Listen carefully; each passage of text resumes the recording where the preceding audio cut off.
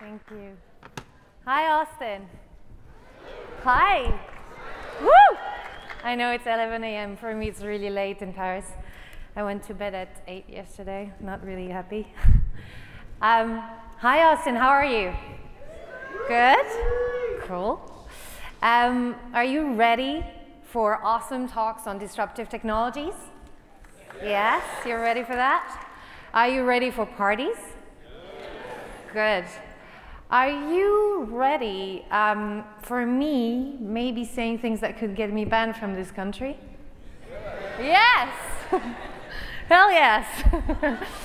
Sorry, I'm gonna try to not swear, but you know it's in me, I'm French. All right, let's go. Um, have a presentation. I did my homework, basically. Here's my message today. Um, I'm really glad that so many of you came this morning to talk about a topic that's political, uh, that's seriously dividing a lot of us at the moment. But nevertheless, that's a topic that concerns all of us. And especially directly 65 million people on this planet. I'm talking about refugees or displaced people also, as you know the technical term. And my intentions the, for this keynote is to share with you the stories and the facts that I hope will inspire you to think of migration and refugee differently and inspire you so that it empowers you and empowers all of us to think that there is, we have the solutions for a healthier debate on migration.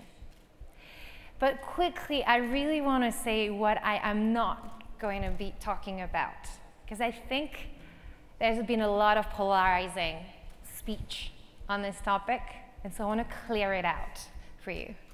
I am not here to make an advocacy for open borders, freedom of movement, and let's be happy all together. I am not doing this. I am not also saying that there are the people that are pro migration and they're good people, and they are just a bunch of racists on the other side. And I am not also saying, by saying it's not a refugee crisis, it's a crisis of hospitality. The fact that it's not about refugees, it's about us. I'm not saying that there's not actual suffering of refugees. There is. I've seen it from my own eyes. And what makes me say this is actually what I've been living for the past 30 years back where I'm from.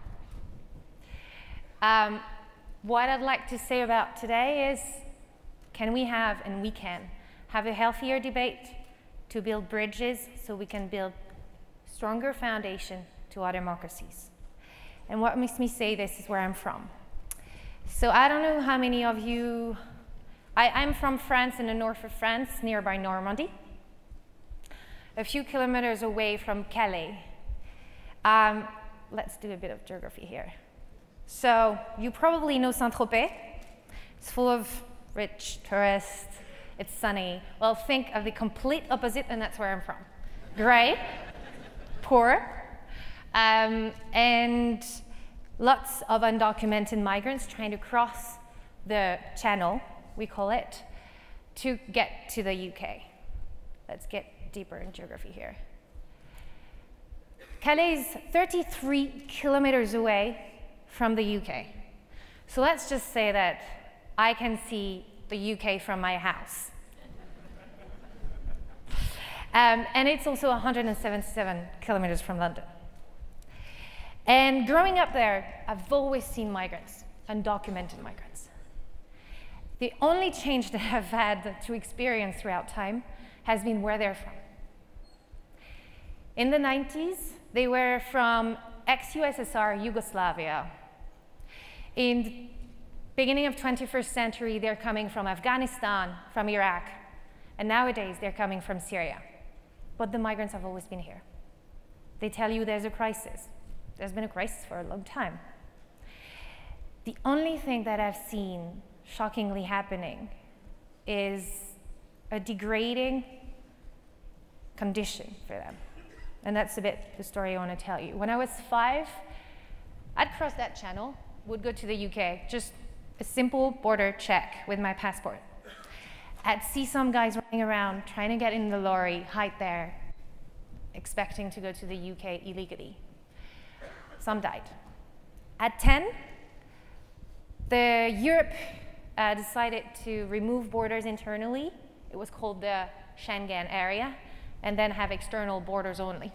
That meant for me, could go on vacation in Spain, Italy, Germany, without the need for any border checks, border control. I would not experience at the age of 10 anymore any border within Europe. In contrast, in Calais, more police was brought in because the UK did decide not to be part of that area, Schengen area, and so more police was brought in and more arrests were made. At 12, I, thanks to an awesome dad, I was uh, surfing the internet. He brought the internet at home. I could connect to people all over the world. I would speak with people in uh, Algeria, US, um, Australia. And I would spend a lot of time trying to practice my English through that. It gave me a real um, connection with the world, with information, but also a feeling of wanting to travel and expand. In Calais, uh, well, things got worse. They destroyed the center that sheltered the migrants. So the migrants were asked to be outside, laying on the ground, sleep at night on the streets. They were more visible, and the city was getting grimmer. At 18, thanks to hours spent on Messenger, MSN Messenger speaking in English, and hours spent on Wikipedia, uh, learning about the principle of economics and principle of politics, I got into uh, what you would call in France elite school. Um, probably the equivalent here in the US would be the Kennedy School. Um, and was able to just meet people from all over the world, international students in Paris. Thanks to that school, I was going on a third year abroad in New York.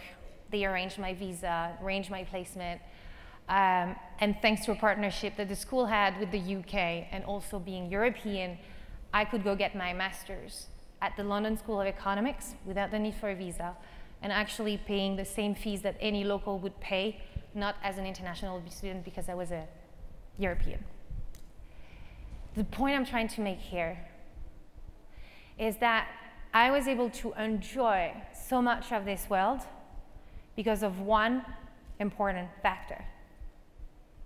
That's my passport. That's where I'm from, that's where I'm born. Nobody chooses where they're born. And yet, I was able to enjoy that on the fact that I didn't choose. Here is a chart of where you can go with your passport. If you're from Germany, you can go to 174 countries in the world without the need for a visa. You don't have to apply. Here, um, you probably now have seen it. Most of you will be able to travel the world without the need for a visa to 174 countries. I can get one less than you. I wonder which one. We pissed off at with the French Macron or someone. Uh, and at the bottom of the list, you get Afghanistan. If you're born in Afghanistan, you can travel to the world, to 24 countries. Those countries, I heard there's a term now to, to describe countries that are not really cool. It involves poop or something. Won't say it. Um, but so basically, if you're born from Afghanistan, the world is summarized in 24 countries. Try to get a visa for the other countries. They'll try to tell you that you're actually looking to get a tourist visa to actually um, illegally stay. That's most of the time what happens. And I've made a bit of a Google search on kayak. From Afghanistan, you can't have a direct flight from Kabul. You can't have a direct flight to those 24 countries. So let's better say the, the world is summarized to Afghanistan for you. And that's that one, one thing that really, really, really, when I discovered this, really, really profoundly made me feel the world is really unfair and, and it's hypocritical to say that we're in a modern world telling people you can be what you want. You are you, you should look and strive to have a better life and to, to expand and to be happy every day when actually where you're born is, is where you'll die. Um, so I started a, a company in uh, the UK called Migreat, and we try to make migration information available for everyone in their language and personalized. And that was my way to Volt. I was also really, really um, enthusiastic, excited about technology. It was the time that Uber and Airbnb was starting. It was 2012. And so I thought, maybe I can help so many people that were not born in the right country get those legal visas and then improve their lives so that justice will be made. But every time yet, I would come back to Calais. It was really grim. And the reality hit me, and the absurdity of the reality was the most striking. In 2015, the UK government gave us in France 2.3 million to build a wall in France, in Calais. Here's the building. Um, to give you a perspective of what that means, that number, 2.3 million pounds is the sum you could get to put a camp hosting 2,500 refugees in Calais a modern one with hygiene conditions. It's also the same um, amount that you would take to get 300 refugees in the UK for a year. That would be the same price. That's absurd. That's absurd that the money spent is not spent on helping people, it's spent on removing them from, from, from where they're trying to go. Uh, but anyway, um, just to put in context, I said to you, Calais is poor. Calais is pretty poor. Unemployment pockets are really heavy there, and it's been 10 years, 20 years now. 2.3 million to put a wall in Calais was an insult to local citizens of not fostering local economic development or helping them find employment almost. Anyway. But again, I took that picture because you see there's a bit of a door. Maybe they were just not really sure what they were doing, right? So I'll keep it there. I don't want to give them like the blame, the full blame on it. Um, the second thing that was absurd is conditions were getting worse. Built, the, the wall was built, less people were going through, and so more people were stuck. And as more people got stuck, conditions were getting worse. Local charities went to sue the state, the French government, for not providing water fountains and toilets in the city for those migrants that were outside. They were punished. The court said that the charities were right and the government had to pay and put water fountains and toilets.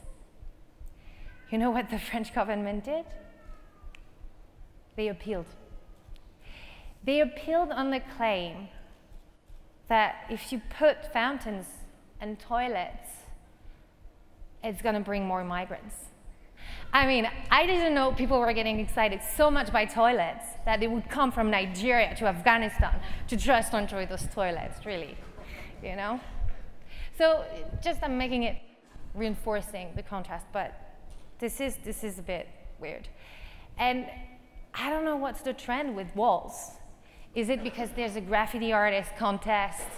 Uh, but we now have more walls than we've ever had. It's been building, building over the years. We have more than 70. Uh, at the end, when the Berlin Wall fell, there was probably a dozen only. So a wall is what? A wall is made to prevent invasion. So maybe there's an invasion, maybe they, they're right to put a wall. Uh, the thing is, the number of immigrants that came, undocumented migrants, that came to Europe in 2015 is 1.5 million. Compare that to the population of Europe, it's 0.15%. When you know that in Lebanon, 30% of the population is made of refugees, you want to just take a bit of perspective on the invasion here. And, and here you have the graph. It's like most countries that are actually taking on the refugees are not in Europe. Sweden a little bit because it has a lot of people coming, uh, bring, trying to um, get reunited to their families. But most of them are at the border of where the crisis is. And that's a normal fact. Refugees are people that are forced to migrate. They never wanted to leave home, and so they prefer to stay close to where they are. Because when the war is over, when the problem is over, they want to go back. So that makes sense. Not an invasion. So if it's not an invasion, what is it?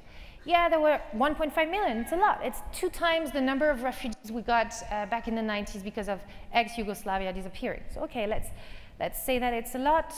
But the problem is, historically, we had this. We had this, and Europe was very proud to say, we welcome refugees. It was an. It was an honor, and we welcomed the Russians that were fleeing away from communism in the 1920s. It was, there was no easy jet or like really uh, easy flights, but 420,000 Russians came in Europe half a million, half a million Spaniards crossed the Pyrenees, the south border of France, in two weeks after Franco took over in Spain, the, the dictator. And we dealt with it. We were really proud. And some arrived in Calais, actually. And the mayor of Calais said, please give blankets. It's our honor to shelter them from dictatorship in Spain. So it was an honor.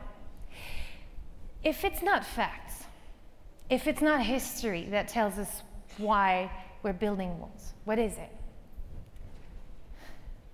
I'll give you a hint at it. In 2015, David Cameron, the UK Prime Minister, talked about the migrants in Calais as swarm of migrants that he was determined to keep away from the UK. Katie Hopkins, a public British influencer, talked about migrants in Calais as cockroaches. Cockroaches. And, and then followed the media that said that Calais was a jungle. I didn't know how to jungle. If I had known, I, would have taken a ticket to go to the zoo, but uh, they described my city as a jungle where animals were living. And then, finally, this dude, ah, no, that's not the right slide. Can we go back? Oops. Ah, that's the Spaniards that crossed the, that guy, Nigel Farage, said we're at breaking point, obviously, and talked about hordes of criminals coming to the UK, hence why we need to break with the EU. So here you have the physical borders, physical walls we're building are reflecting these insidious words and thoughts that are being put out there. And these are the walls within our minds. The walls that are dehumanizing. It's, it's a concept, actually. Dehumanizing is a concept and it's a process. It's a process by which you say, there's us and there's them. It's a polarizing rhetoric to create an enemy. And it's been recorded throughout history that every genocide was linked to that. We're fighting human biology here. Uh, we are hardwired, hardwired to associate what we see with reality, obviously, to believe in what we see, and to put meaning into words that are put out there. And cockroaches was not the first time it was used. It was used by the Hutus in Rwanda to start the genocide against the Tutsis. The Tutsis were cockroaches, and we know what happened in Rwanda. And so, hardwired like this, we're super vulnerable to anyone who would put out there words and images that will make us think it's real. And it always starts with words, then images. So if we're so vulnerable to words and images, we definitely need to try to take that power of words and images and invert it to create positive narratives, to create something that's against the one with Nigel Farage. And right now, without transition, I'm going to put a photo that's taken all over Europe in 2015 that changed the whole mood. Compared to that, the one you have here. Here was the consequence of those words of we don't want them here. That's a violent picture. That's the one picture that took over all media in Europe and drove Europeans to go in train station the day after to say welcome to refugees. That picture moved the whole Europe. And for a month, people were just all pro-immigration, just for a month, because they had to fight this. People that were ready to reiterate that rhetoric and then went on to use fake images and fake words to say, no, no, no, no, no, they're actually coming to, to take you over. But anyway, so that picture was the start of what you heard um, earlier and, and my organization, which is Techfugees. And this, I was not founding it. It's Mike Butcher, the editor of TechCrunch, a big influence in the tech industry in Europe, who, when he saw that picture, called on a post on Facebook and said, guys, if we're going to fight this, it's not about posting pictures on Facebook and saying we're sorry. It's about pragmatic action. So what can we do beyond donations? What can we do beyond donations that will empower those people that are trying to cross the sea? It Was maybe a naive question, but it took like wildfire. He created a group, and then it went wild. I joined the first day, and here I saw 300 people joined 10 days later. CEOs of tech companies, refugees, NGOs came to discuss what technology could do to help those people. Hassan Akkad from Damas in Syria told us that he was on his phone on WhatsApp when his boat was sinking and pinpoint where he was to the Coast Guard and he was saved. 60 people were saved. We heard from Refunite on that day that they're using mobile tech and, and mobiles to reunite families and loved ones so they can find back each other. That wouldn't have been able, able to, without the smartphones or phones. And we also heard from awesome geeks in Greece that had started printing up a spreadsheet with a collection system with hygiene products, food, and water. And then they had a WhatsApp group where they could call the truck drivers and tell them what had arrived, where, and where to ship it.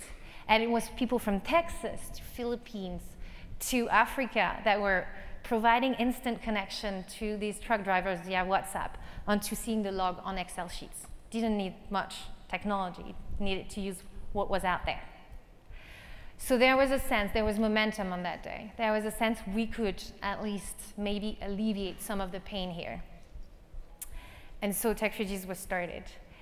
And it grew, like it became a, a, an internet meme. And, and it grew out of proportion. People came calling from Oslo to New York to Krakow to Australia to Paris saying we want to do the same. We want to do a hackathon where we're going to create technology for the refugees.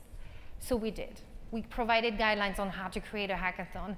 We provided listing of what technology to use or what was out there, what were the projects. Um, to give you a bit of a few ones, uh, because I like to be concrete about what happened. Those guys in Serbia, they created a mobile Wi-Fi router that you can put on your backpack and have internet liaison at any time. Uh, if you're crossing countries or if you want to stay in touch with your uh, family and get information about where the border is closing. We got blockchain used in um, Lebanon by EdTech to provide cash to the refugees. So you'd have a tracking of where the money spent and on what. And across Iraq, Jordan, Turkey, uh, Germany, you name it.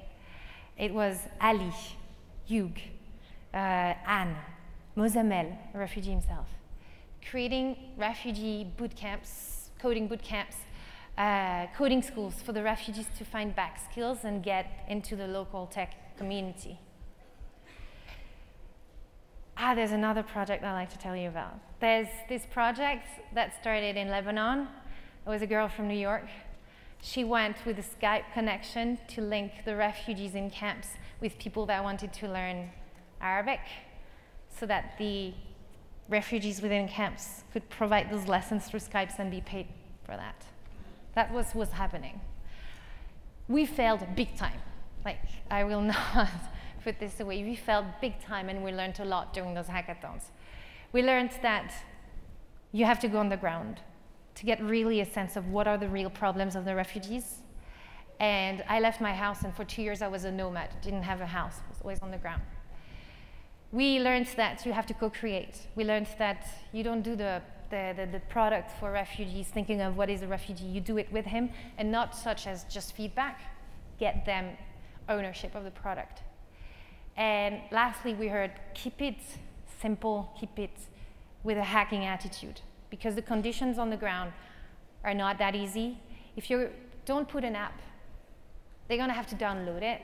They're going to have to remember that password on their Apple Store if they have an iPhone, if it's not, it's on an Android. Now, just keep it simple and put it on WhatsApp maybe out there. Uh, and if you're doing anything, just make sure that it doesn't use a lot of battery because they might lack of battery. So we learned a lot, and basically today, Techfugees is 25 chapters across the world, 18,000 people that have been involved through hackathons and innovative projects. We empower the displaced with technology, and we're based on the facts, on two, two facts are building our vision. Is first, we've seen the refugees, they're connected. They are on their phones, they're on Facebook. They have that in their hands. And the second thing is technology, because it scales and cross borders, is up to the size of the challenge. I told you it's 65 million people. But enough about Techfugees. I mean, what I'm most proud of is that the community took over. It's, we, we, we were here to support the community and the community took over. Here's a hackathon we hosted in uh, Paris for the Olympic Games, preparing for the Olympic Games, where the refugees pitched a, just using all the apps to do sport to create a buddy program for refugees to get involved and do football, yoga, jogging with other Parisians because they don't ever meet. And again and again, those refugees have told us something very precious. They've come to our event and then they say, I'm not a refugee, I'm a Techfugee. And the second thing is, it's the first time I'm accepted, I'm seen for what I am, not a hero, not a victim but a human being with skills. Um, and we've, so we've started to create a narrative, create images that are positive, that are showing that they're also human beings and they are part of our shared humanity, those people that have lost everything. And, and we need more, and we need you. And we need you for one important fact, is that if we don't build those bridges, we will not be able to continue with our democracies as the way we live them today.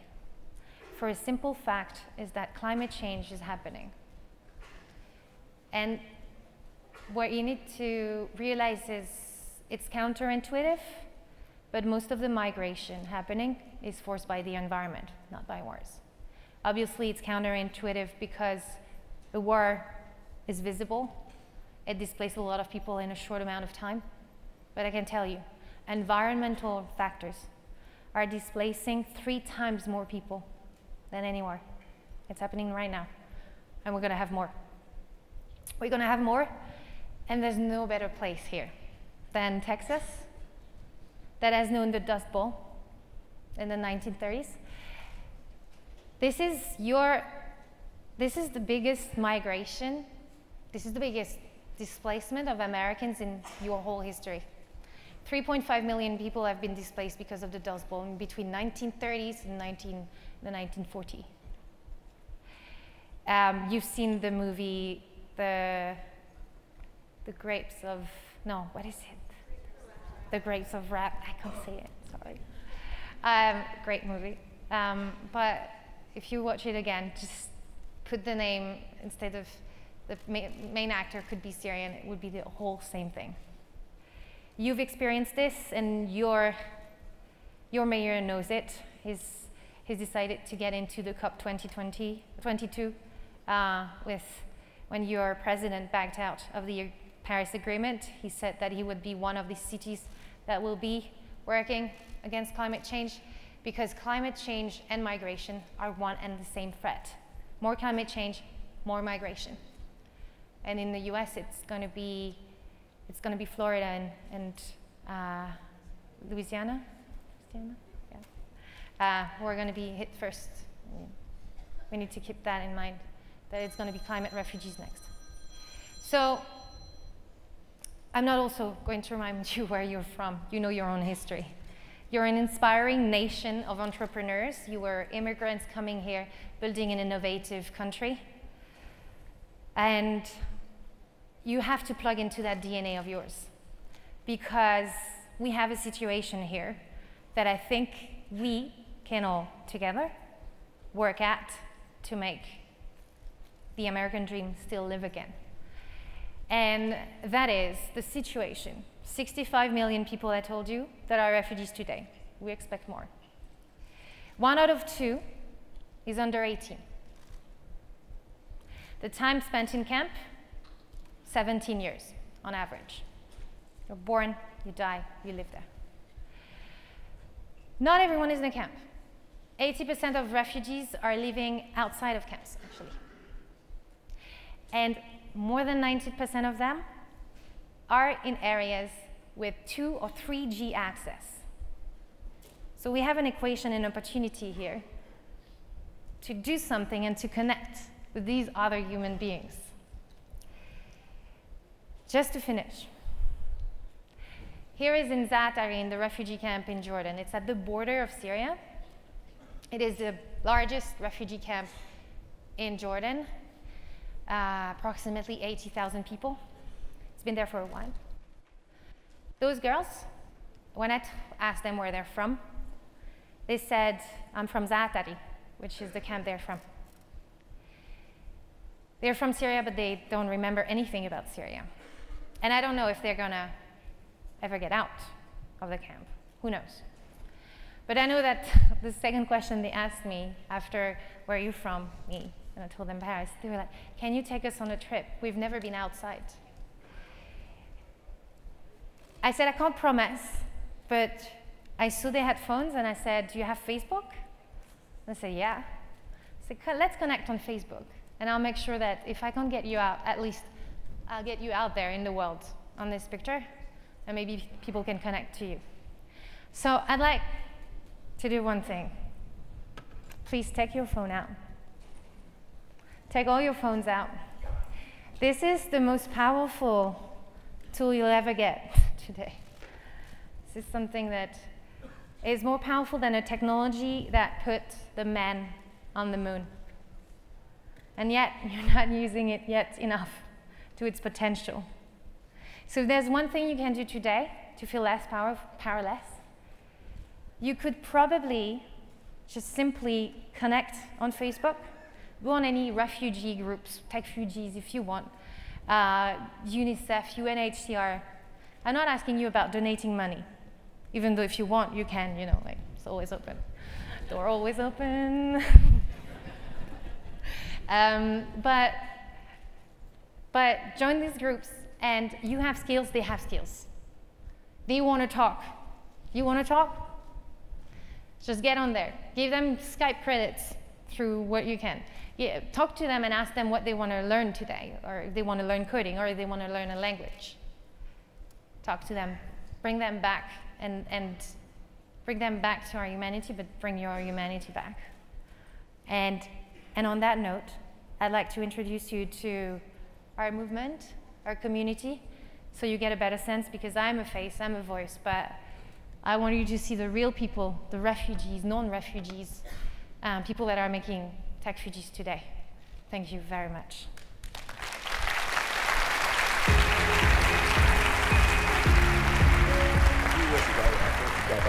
Startups, technologists and entrepreneurs and humanitarians together to challenge each other and to try and come up with solutions for the issues around migration. That became TechFugees. So this is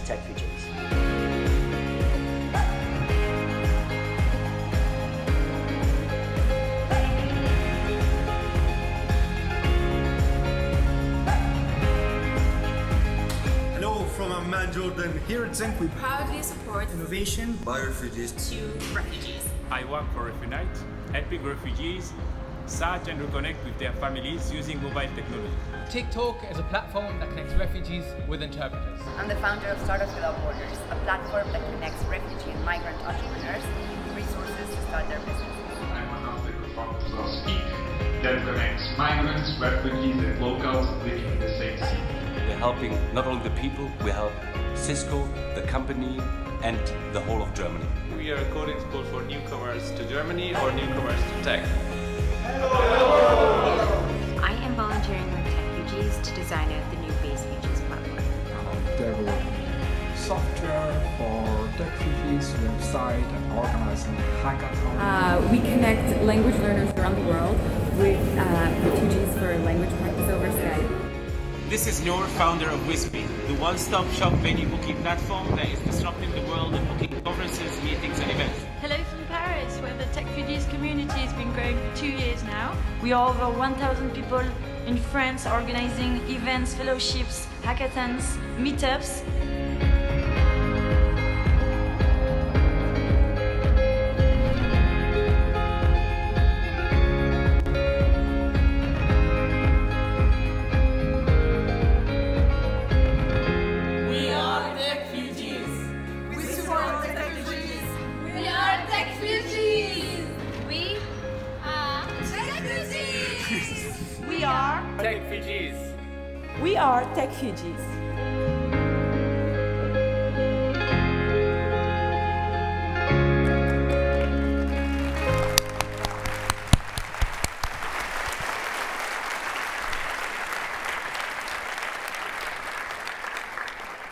A journalist should be here. Ah, here.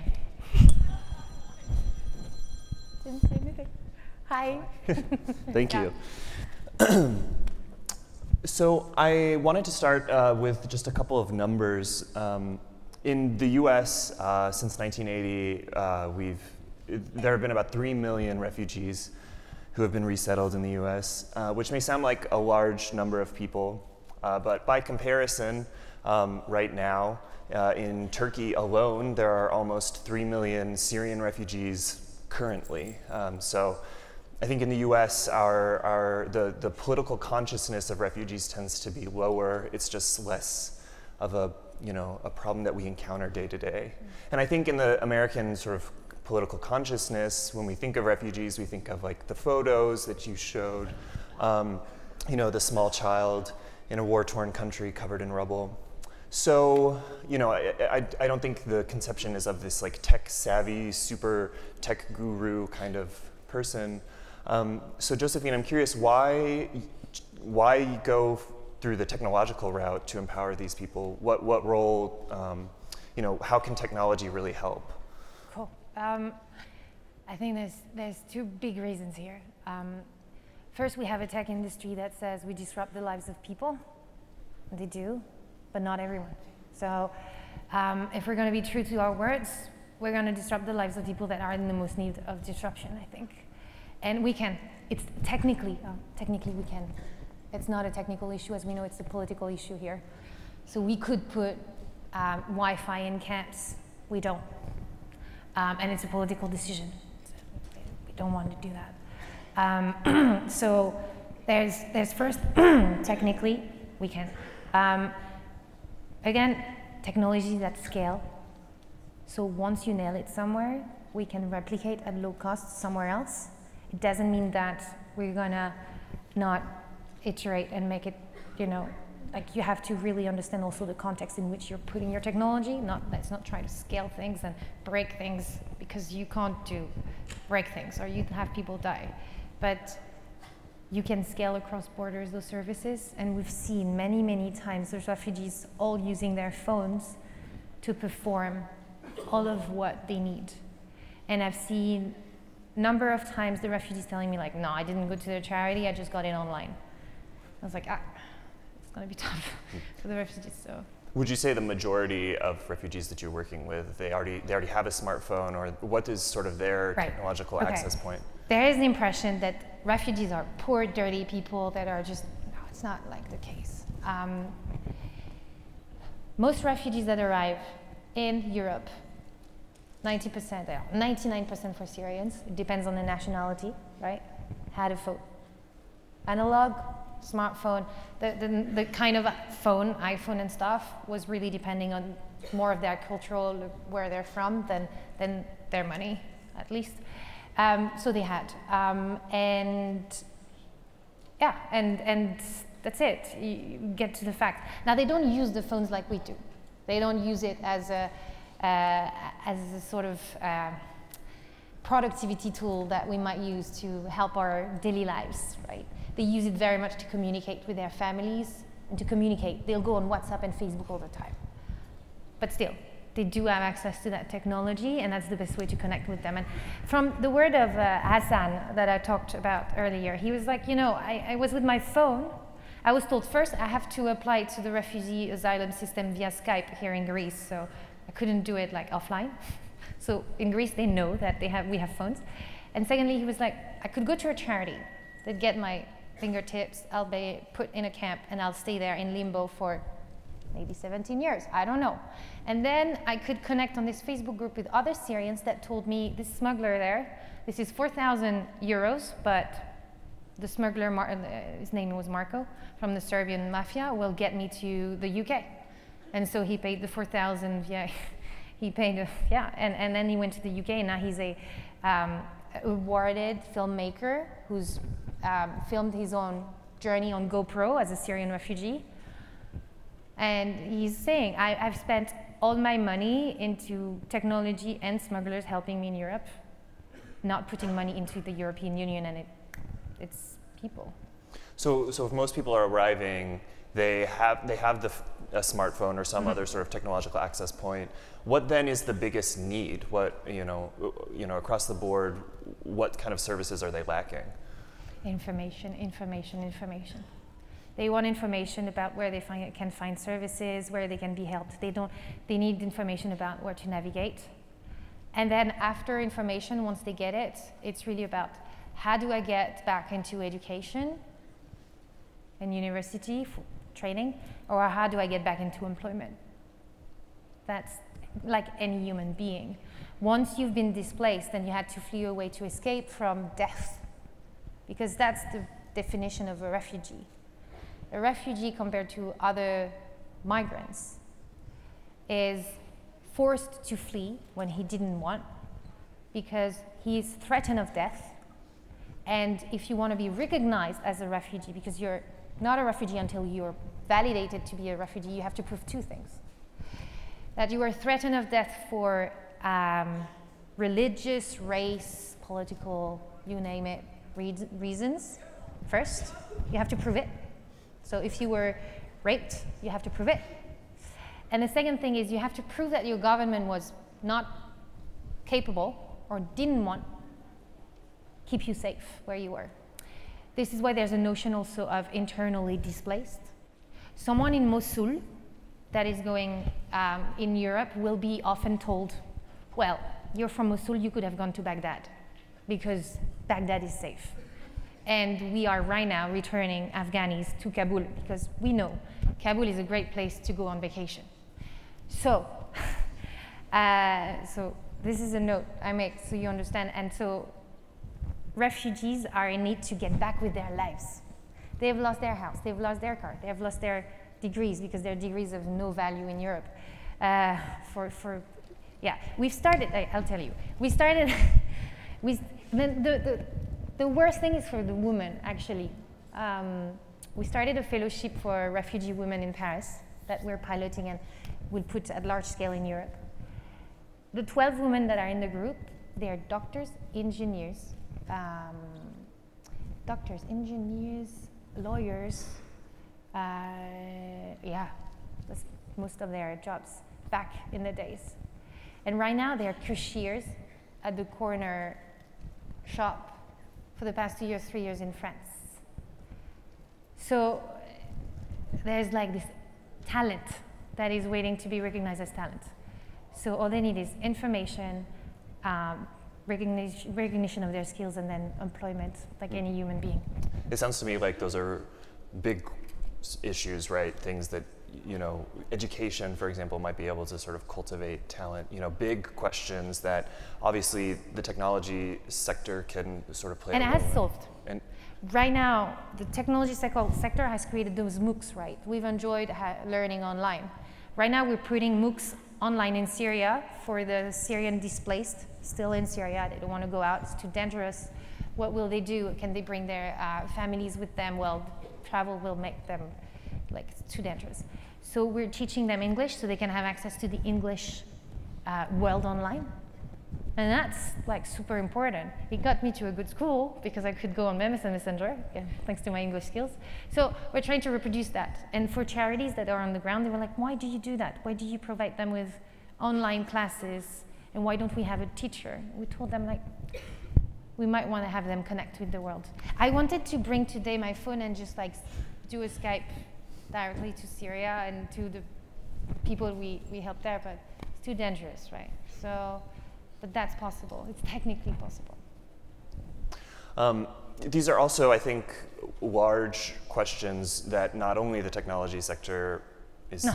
grappling with, right, but governments, and, and, and I think um, you know, TechFugees describes itself as a, um, as a politically independent organization, um, but I wonder, you know, in 2018, in an era when, you know, just yesterday, President Donald Trump appointed a, a, complete immigration hardliner to, the, to head the refugee program at the State Department. Um, here in Texas, the state just two years ago completely withdrew from the refugee resettlement program, basically saying that Syrian refugees were too great of a security risk.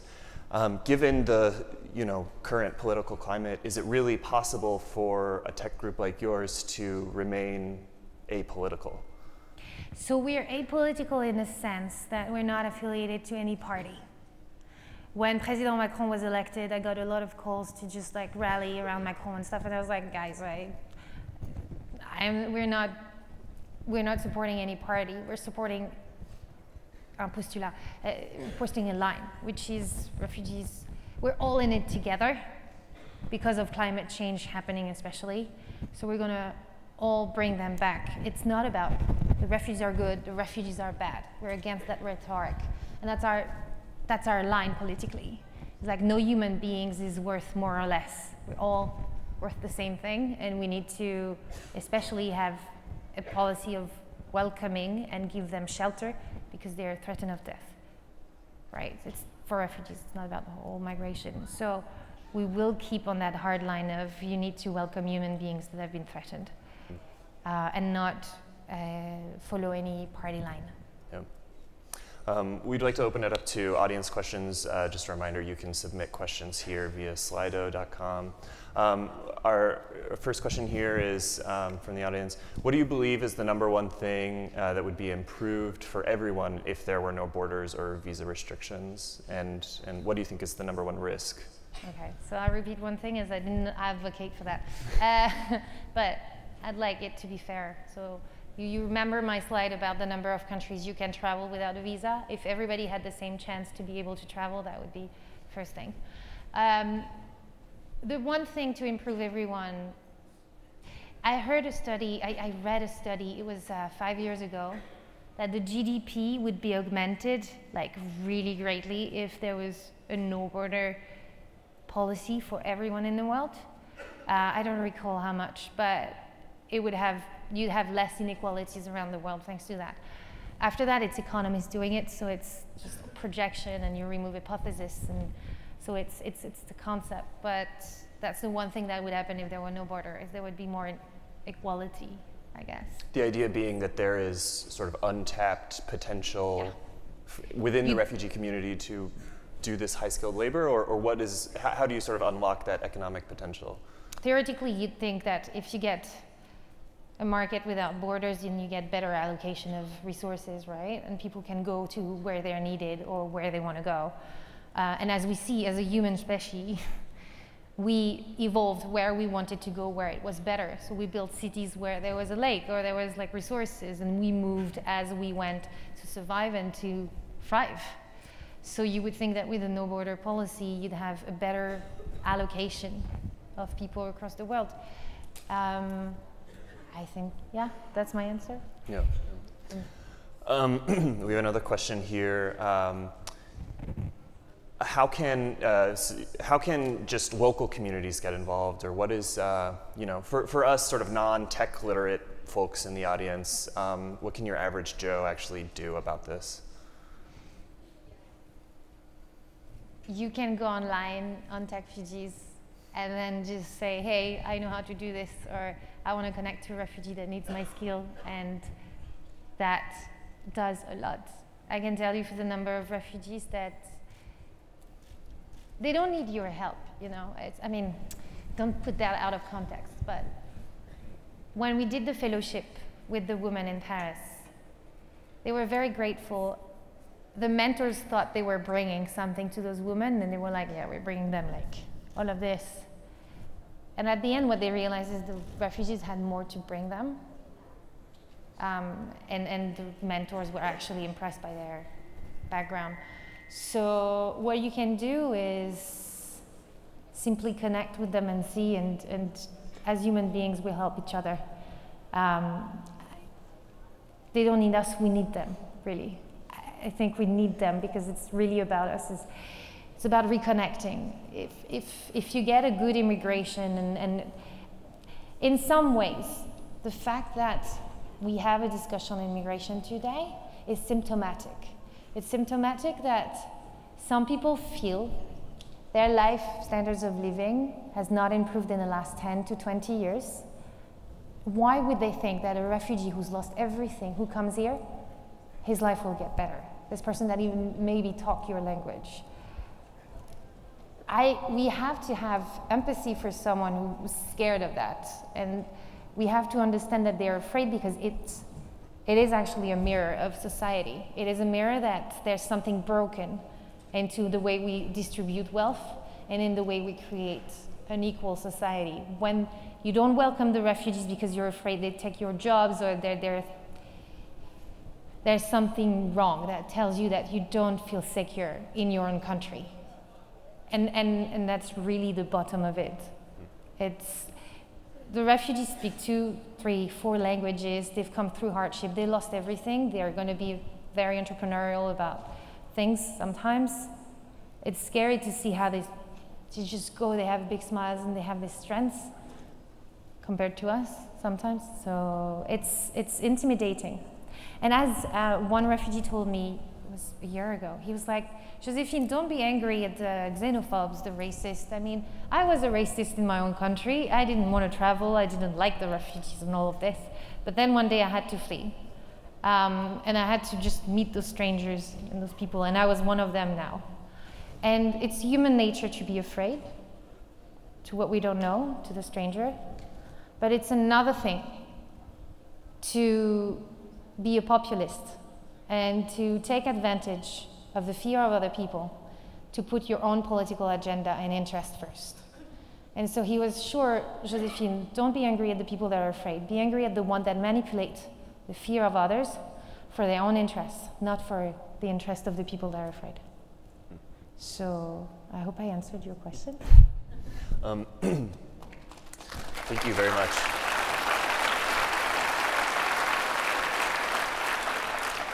Do we have one last question? Yeah, let's take one more. Um, we have one here. Are tech companies willing to acknowledge that the actions of the US business class are a primary cause of the refugee crisis in the first place, in the sense that, you know, you know, through capitalism, you know, essentially that maybe some of the forces that motivate, you know, you know, the idea to seek a profit are actually contributing to the refugee crisis in the first place. So sort of how do you reconcile those two forces? So there's no refugee crisis, Anonymous. And uh, or the hospitality crisis. Um, there's a hospitality crisis, um, and uh, I don't think it's just tech companies uh, that are primary cause of the refugee situation. I'd point out first to oil and gas and, and you know like anything that is climate change. But tech companies are involved in this. You know, it's causing climate change. But we all responsible of it. It's the thing is like they are responsible. They are responsible. We all responsible for it. And we need not to say blame it on others and say this is their problem, they need to fix it. this question is not saying this, but we want to all be part of the solution. we need to stop talking about the problem. We need to be part of the solution. So the tech companies acknowledging, well, great if they acknowledge, but yeah, it will start by acknowledging that they can do a bit of the solution, and they do. And we have some tech companies that have followed us from the day, first day. It's Schibsted, uh, one of the major marketplace in Europe that has been day one with tech refugees. And Expedia has joined us last year, creating, uh, providing pro bono engineers to build technology with the innovators we have. So we have a few tech companies that are moving and, and going on to talk about this. So I'm, I'm really hopeful that more will come. It, it's needed, it's a fact. We'll have to come on board, and every industry will have to come on board of that. Sadly, or we'll come together. It's great, no? well, Josephine Goube, thank you so much. Thank you.